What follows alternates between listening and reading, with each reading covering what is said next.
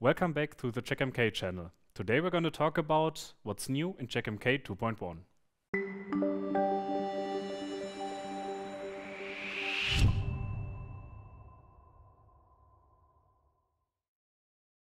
Before upgrading to CheckMK 2.1, there's a few things you might want to consider. First, it is not possible anymore to skip a major version when upgrading CheckMK. So if you're still on version 1.6, you cannot upgrade to 2.1 without first upgrading to 2.0. The next thing is that we are deprecating two features. The first is NSCA, the Nagios Service Check Acceptor, and the second is the Web API. If you're still using the Web API, you should start migrating to the new REST API, which is the drop-in replacement. But you can also re-enable the Web API if you really need it, although we warned it will be removed in a future version. But now let's take a look at the new features. Right, so I just upgraded my CheckMK instance to 2.1. If you want to learn how to upgrade your CheckMK instance, you can have a look at our dedicated video on that, and you can find the link in the description. So let's get started with the first user interface improvement that we did, and that is dedicated dashboards for Linux and Windows operating systems. So if we go to the monitor menu, we can find them over here. Let's start with the Linux dashboard. If we take a look at that, we can see there's all kinds of information. We get an overview of all the Linux hosts that we have, all the services on those hosts. Um, it's also filtered between up state and OK state or not OK and not up. Uh, we see the CPU utilization and the memory utilization. We see network interfaces and the agent execution time, which is also very important to keep an eye on. And we see several performance counters regarding CPU and disk and so on and so forth. In the lower part of the dashboard, we see some more information on the hosts. We see all the Linux hosts that we have in this environment. Um, depending on your configuration, you can also see the OS vendor and the version in here, and you get a lot more information just as a quick overview on the hosts.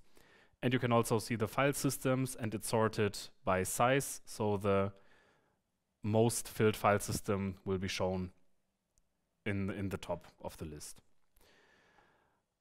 Okay, there's one more neat thing we can actually drill down into these hosts. So if you're curious about what's going on with one of those hosts, you can just click the host name here.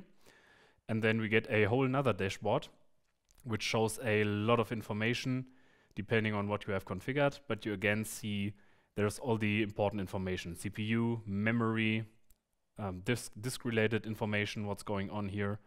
We see TCP connections, information about the interfaces, especially um, errors, but also the network interface bandwidth. And we can see critical and warning services in the lower part of the dashboard. So we have all the information we need on the host and everything at one glance so we can see what's going on with the host.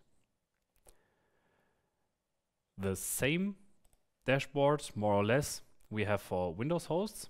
If you go here, you can see it's more or less the same dashboard that you see, more or less the same information, but now it's filtered for Windows hosts and we only see our Windows hosts here. And again, we can do a drill down on the dedicated host and see what's going on here. We see the same, more or less the same information, tailored to Windows in this case, and we also see the services and their state, so if there's anything wrong, we see that instantly. Okay, the next improvement is the service discovery. So let's take a look at one of our hosts. And if we go to the service configuration here, we can see the new or renewed service discovery page. You can see some of the buttons have been renamed, but the overall layout stays the same and the information is more or less the same that you see. So we can see most of the services are already monitored here but we have one undecided service that is currently not monitored. We have labels, or one label, but it's currently active, so no need for discovery here. So what we could do, we could add this single service here more or less manually, or we could disable it if we wanted to. um, but we can also use the buttons in the top here. There we have accept all. That's the first renamed button. Earlier it was called fix all, but we wanted to make sure that it's as intuitive as possible here.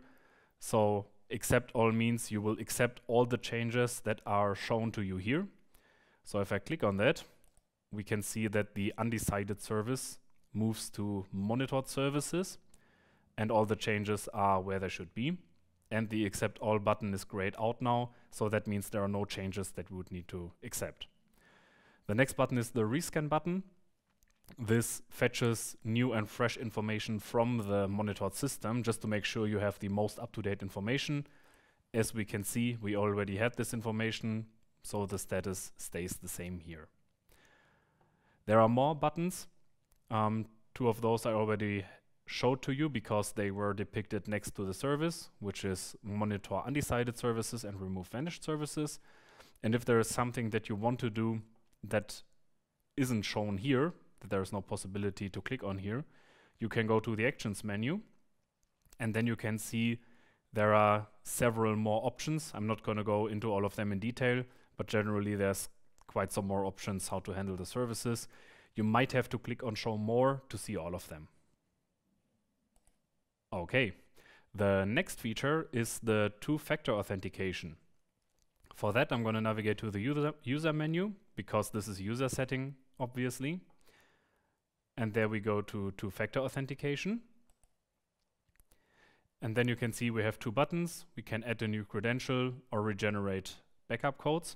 First, I want to start and create some backup codes, because if I lose my security token, I won't be able to log in. So let me first generate those and save them somewhere securely. And after I did that, I can say add a credential. And now I'm asked to confirm with a touch of my security token that it may be added to this application. And now we can see it has been registered. We see the time and date when it has been registered. And we can also set a alias, just so we know what device it is. I'm going to use a generic name here, security token. So now I know what token it is. We could add more tokens if you had more. But what this does is simply if we log out and log in again, I have my password and account stored here. But now we are asked to confirm the login with the security token. And after we did that, we are back at our main dashboard. One more improvement that you might not have been able to see up to now is a overall improvement in the performance of the web interface. So if you're navigating CheckMK, at some points you might realize that it feels a little, a little faster, a little more crisp. Um, that's something that we improved in general. Of course, that's not easy to show. So I'm just, just gonna tell you that we did a lot of work in that area. So look out for the improvements there. But we also did some changes under the hood. So of course we improved the performance of our monitoring core because that is the engine of our monitoring. That is what actually does the heavy lifting. And we did some changes to the file format of the configuration, which really speeds up the activation process of the monitoring configuration. If you want to know more about that, keep an eye out for the talk of our lead developer, Lars Michelsen, who talked about this very topic at our CheckMK conference. That's it for today. Stay tuned for more videos on improvements and new features in CheckMK 2.1. Make sure to subscribe, and thank you for watching.